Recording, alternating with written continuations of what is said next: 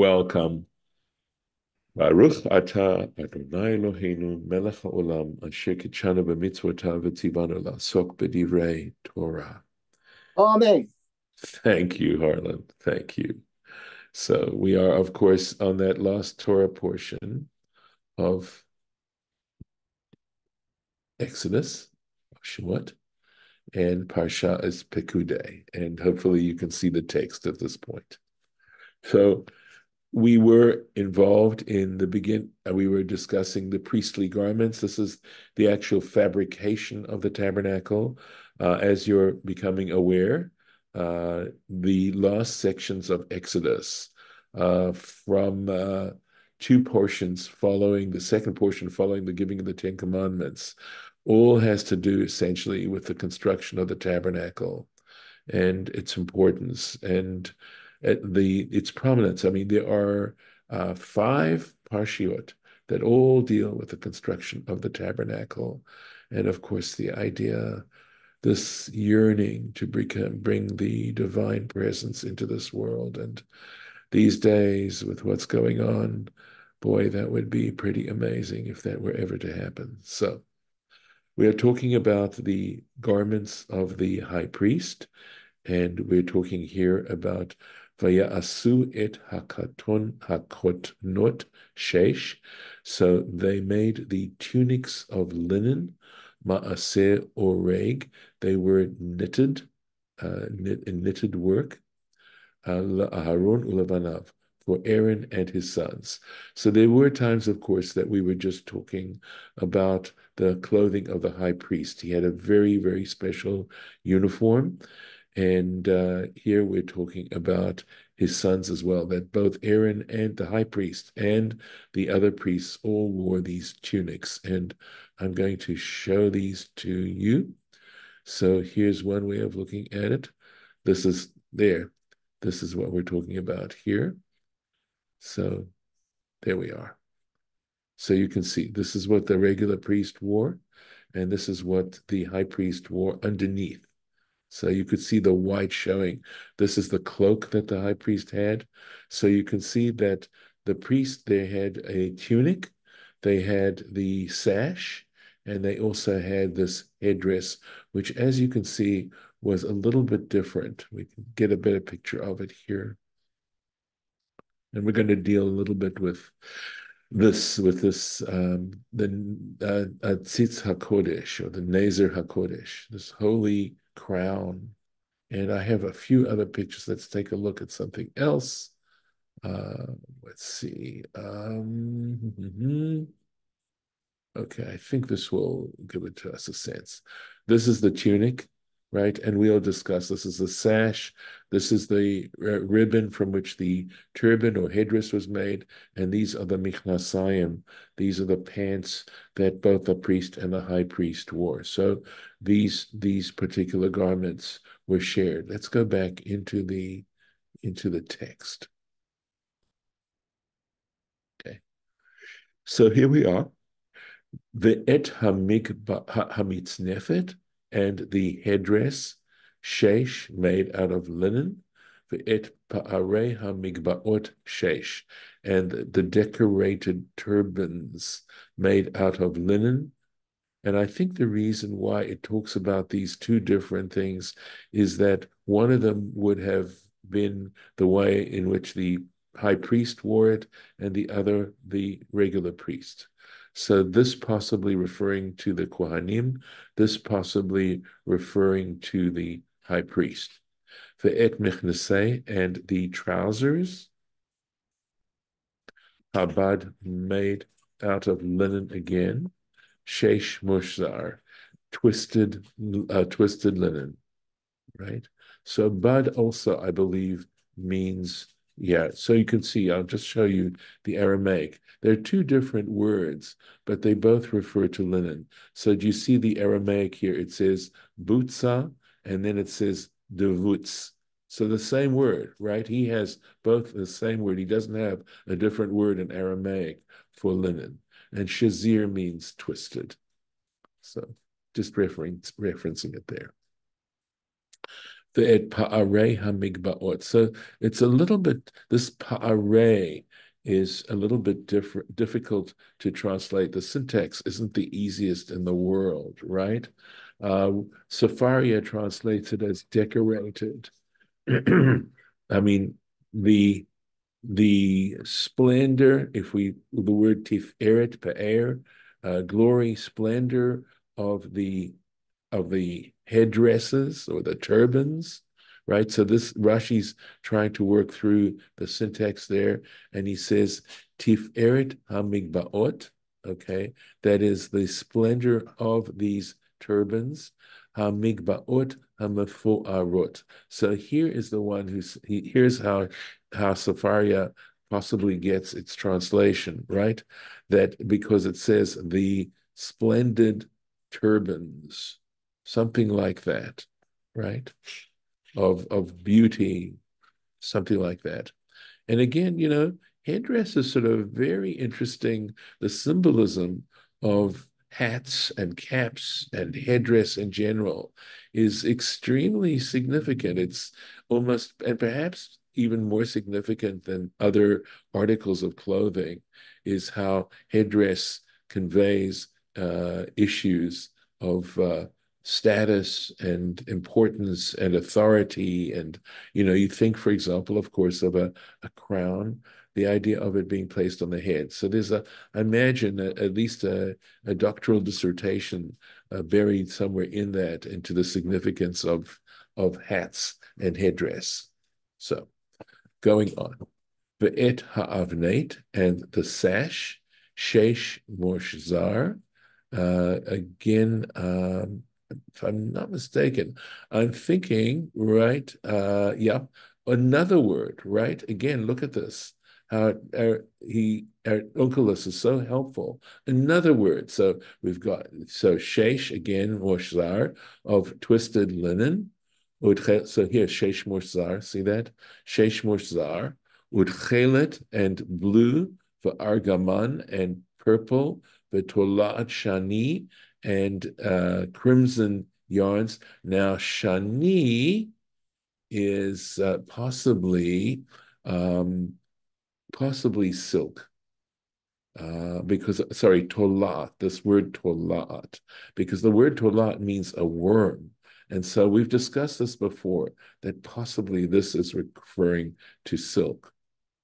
Ma'aseh rokem, the work of a embroiderer, or it could possibly mean embroidery work. Kasher tziva Hashem et Moshe, just as the Lord had, or Hashem had commanded Moses. So again, why are these this phrase, right? This phrase, Kasher Tziva Hashem et Moshe, right? To show the continuity of, of this expression of the fabrication of everything that was done, that there's this seamless uh, transition starting from the divine uh, inspiration or or um, uh, with uh, with uh, Moses receiving this divine word and then conveying it, and then of course it actually being enacted. So that whole continuity and presence of the divine.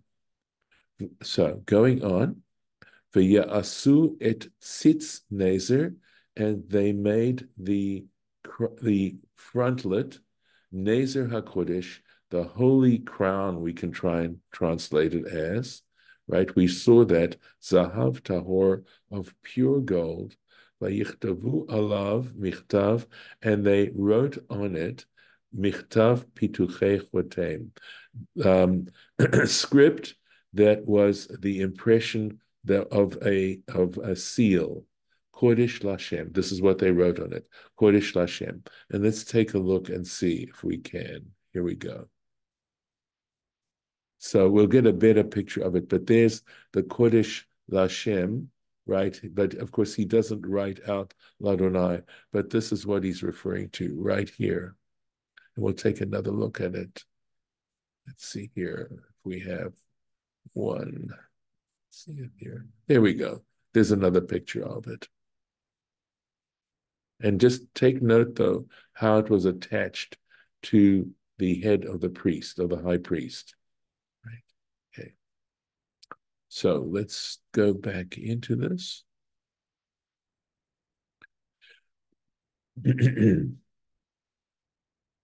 okay. And by the way, did you see? Uh, let me just show you one more time quickly. Okay. Um, right. How it's the how he's done this as like a signet ring, right? You see how the the um, the writing is sticking out like that. I don't know if we'd call it embossed. I don't know if that's the expression we'd use for it. Okay. Let's take a look. There's a very long Rashi on this. Let's see if this is on it right now. Okay, we got one more verse before we have to get in the Rashi. Vayitnu alav til tchelet, and they should place upon it a thread of or a ribbon of blue, latet al hamitznefet, to place on the turban or the headdress, milamala, above, tziva Hashem et Moshe, just as God had commanded Moses. And we'll take another look here now. So this is what we're talking about. So you can see how this ribbon went over the over the headdress as well. And we'll take another look and see how it was tied in on behind. Let's see another angle of it. All right. And this. That's how it was tied in behind. So you can see how there were actually four ribbons totally.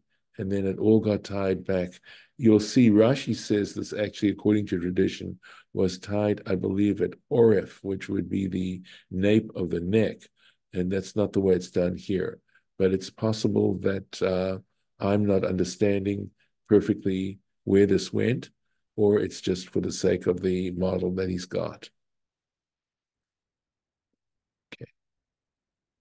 So there's some issues here that Rashi needs to address in this in this comment here.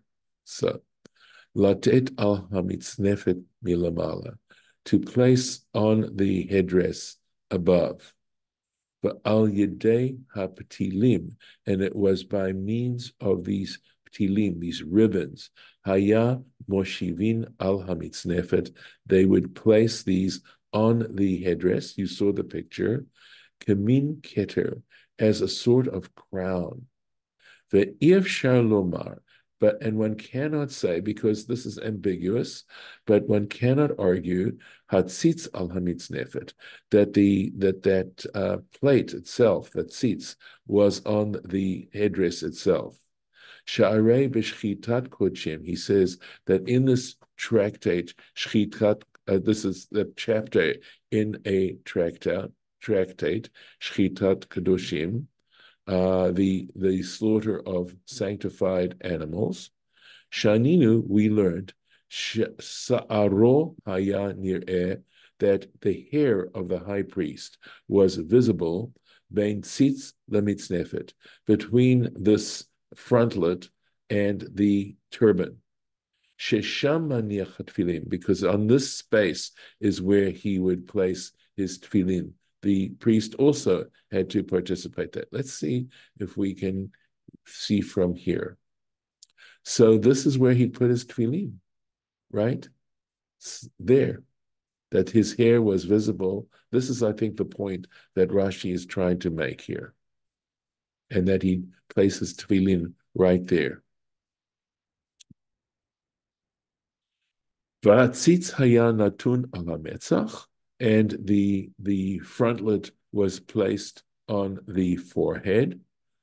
So that's where it was, below the tefillin, the head, the head box of the tefillin.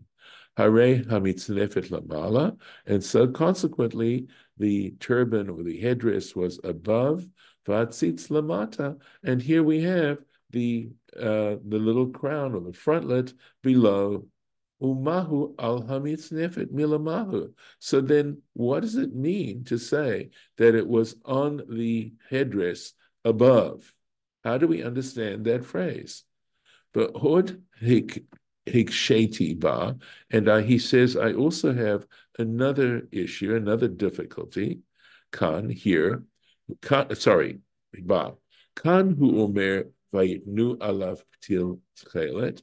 Here it says they shall place upon it a thread of blue. Uva inyan but when Moses is commanded regarding the tzitz, back in Parshat, I imagine it's in Titzaveh, okay, unless it's in, yeah, I think that's where it would be. Hu Omer, it says, and he says back chapter, Exodus chapter 28, Vesamta oto al til you shall place it on the thread of blue.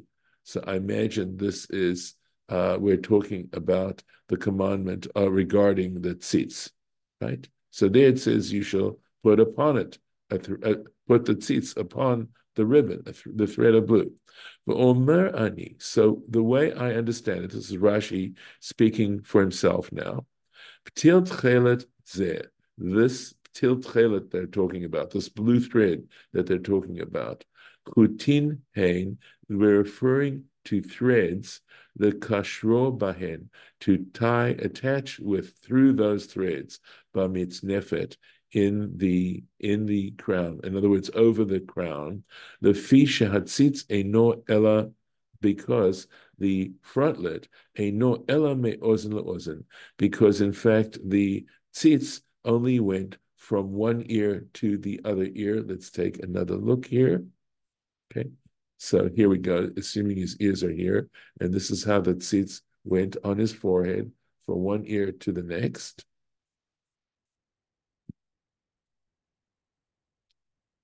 Okay. And so what could you attach it with? What could you attach this sits bemitzcho on his forehead?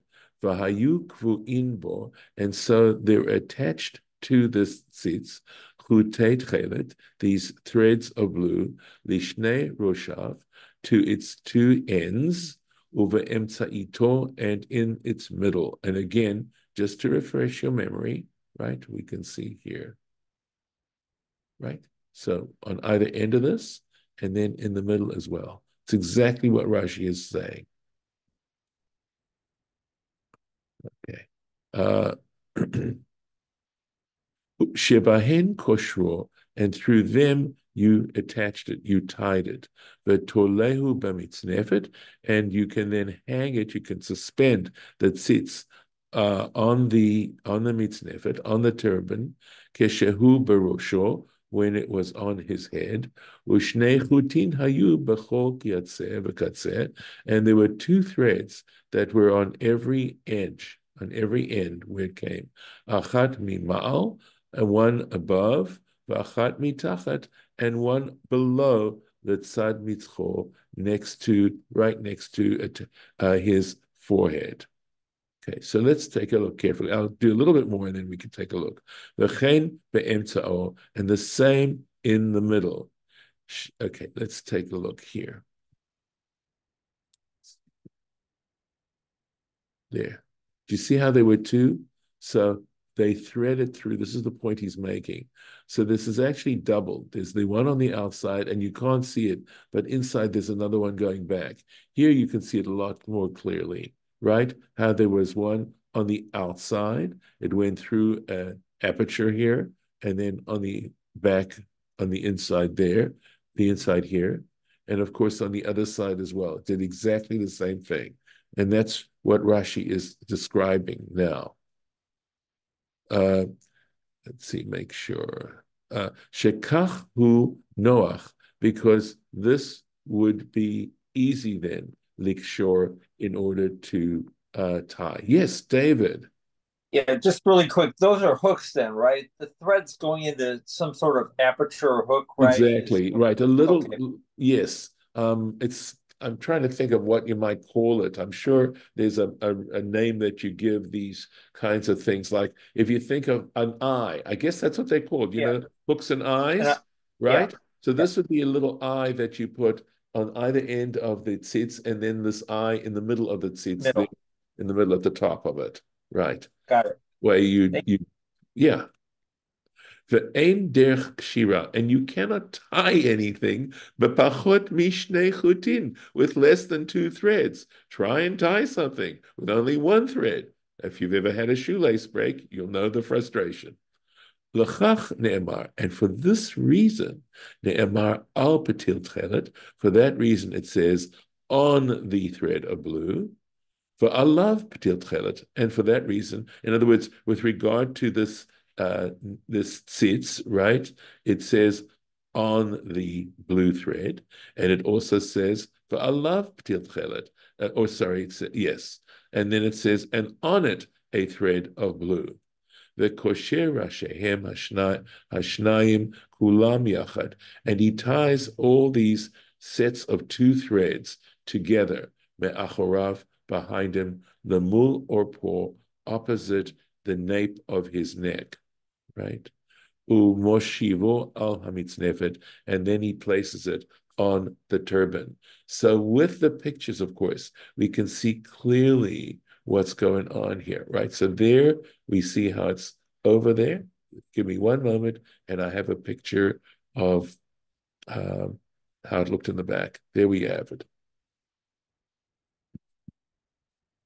So now you can see how all of these were tied on the back and then placed like this crown over his. So this is like a big crown, the whole thing. Okay. How carefully Rashi has to describe this, right? Okay. so going on. For Al Titma, and another issue, he says, don't be surprised. Now he's talking about the grammar of the sentence. He says, don't be surprised that the, that the verse doesn't say ribbons of blue or threads of blue. It just says ptil tchelet, a thread of blue. Or il umerubinheim. And that and and be don't be surprised that despite the fact that there are many of them, it only talks about one. It uses the singular. Because we have other examples where the singular is used in regards to, for example, the breastplate, the ephod, and likewise the ephod. It says, et. In other words, something like they attached the the breastplate, etc. Okay, and it must it must have you'll see for al korchacha, right? Okay, so since it says they attached the breastplate, right? The breastplate was that square plate that went in front with the stones, for al korchacha, and you have to say, you have it perforce, pachot mishnaim lo, you can't have any less than two ways to attach the breastplate. It wasn't hanging by one thread, it had to, or one chain, it had to hang by two. Uh, Uh, okay, so it says because on both on the two edges of the breastplate hayu shtei tabaot, there were two rings. Okay, shtei. So there were two rings of the breastplate. Uvavet ktefot, and then onto his two shoulders, right? Ha'ephod of the ephod. Remember the, if you can visualize it, the ephod had shoulder straps that went up over his shoulders. I think I can actually show you what we're talking about. Here, these are actually coming from behind. Again, I can show you how it did that. Here, the shoulder straps. Do you see that? Right? That's what he's talking about right now and they came up over his shoulders. And this is what he's talking about. There were rings here. We read about these actually, just read about them, and how they were attached then to the shoulder straps. So the point is, right now we haven't gotten Rashi hasn't made his final point, but we're getting there.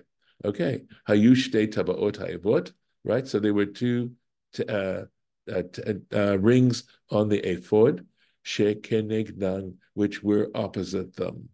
Ulafi derech kshira, and again, by means of tying, arba chutin. They were a total of four of these gold threads. Hayu, they were. Umikol makom, and nevertheless, pachot mishnaim ifshar, and likewise, it would be impossible to have less than two. And I'm going to show you the wind uh, again carefully. What this, so you see how they were two and two, and likewise, there too, You can just see if I can make it a little bigger. You can see how there's two here. They were doubled, and I think that's what Rashi is trying to tell us. Give me one second. Okay. All right. And uh, we will stop here today. We will not meet tomorrow. Okay. But we will meet again, please God, on Thursday. And I'm going to pop the arrow here.